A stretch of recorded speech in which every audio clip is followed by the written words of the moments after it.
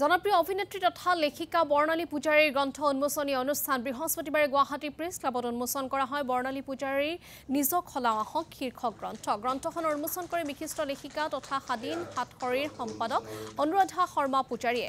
অনুষ্ঠানৰ মুখ্য অতিথি হিচাপে উপস্থিত থাকে জনপ্ৰিয় অভিনেত্ৰী মৃদুলা বৰুৱাৰ লগতে সংবাদ আৰু সাহিত্য জগতৰ কেইবাগৰাকী বিশিষ্ট ব্যক্তি। নিজক সলাও আহক গ্ৰন্থখন প্ৰকাশ কৰিছে বনলতা প্ৰকাশনে।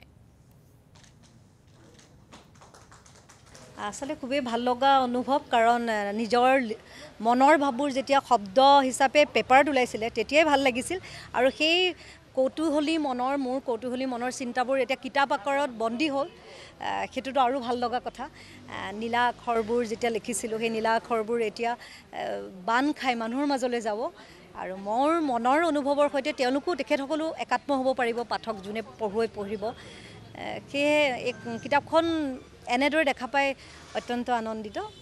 আমাৰ জীৱনৰ প্ৰয়োজনীয় আটাইতকৈ আমি প্ৰথম কথাটোৱে হৈছে ঠিক দালাই লামাই কোৱাই কোৱাৰ দৰে সদায় দালাই লামাই এটা কথাই কয় the purpose of the life is only happiness how to have গোটেই পৃথিৱীখনে যদি সলনি নহ'লহেঁতেন আমি এই পৰ্যায় নাপামেই আমি সেই আদিম যুগতে গুহাতে থাকিলোঁহেঁতেন।